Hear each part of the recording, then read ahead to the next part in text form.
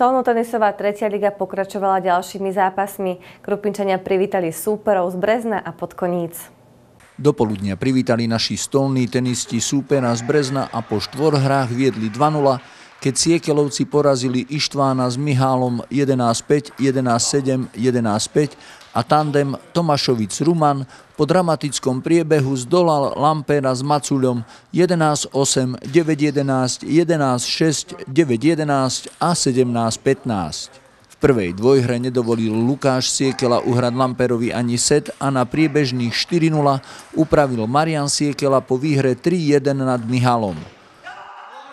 Hosťom zažal iskričku nádeje na dobrý výsledok Ištván, ktorý získal prvý bod hostí po výhre nad Tomášovicom 3-1, no v zápätí Ruman rovnakým pomerom poslal od stola Maculu a bolo 5-1. Súpera Krupinčania definitívne zlomili v druhej sérii dvojhier. V nej najprv Marian Siekela vyprášil Lampera 11-9 a 2x11-6. Tomášovič síce potreboval na zisk ďalšieho bodu s Mihálom 5 setov, ale nakoniec po výsledkoch 10-12, 11-8, 5-11, 11-7 a 11-9 upravil na 7-1. Rozhodujúci 8. bod získal Ruman po víťazstve nad Ištvánom 11-8 a 2x11-6.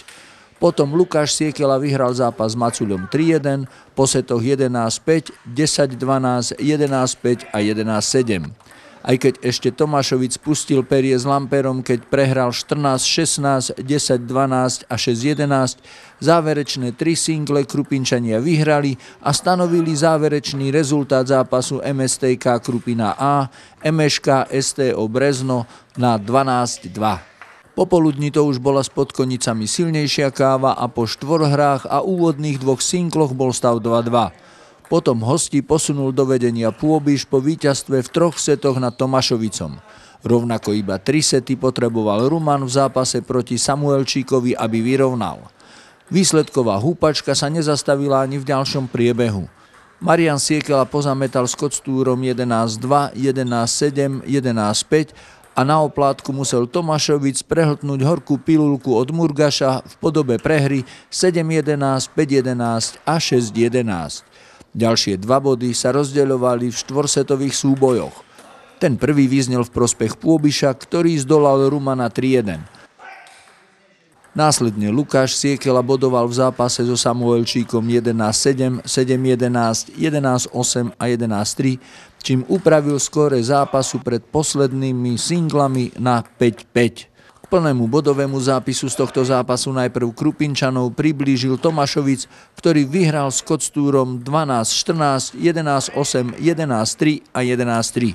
Remizovú istotu domácim zabezpečil Ruman, ktorý nedovolil Murgašovi uhrať ani set a po výsledku 14-12, 11-8 a 11-7 zvýšil vedenie na 7-5. Na víťazný bod Lukáš Siekela ešte nedosiahol, lebo podľahol Pôbišovi 6-11, 12-10, 9-11 a 8-11. Keď horúci zemiak v podobe víťazného bodu nevytiahol z pahreby syn, musel situáciu zachraňovať otec.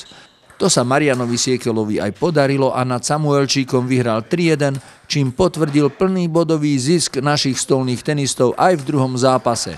MSTK Krupina A, STO Podkonice 8-6.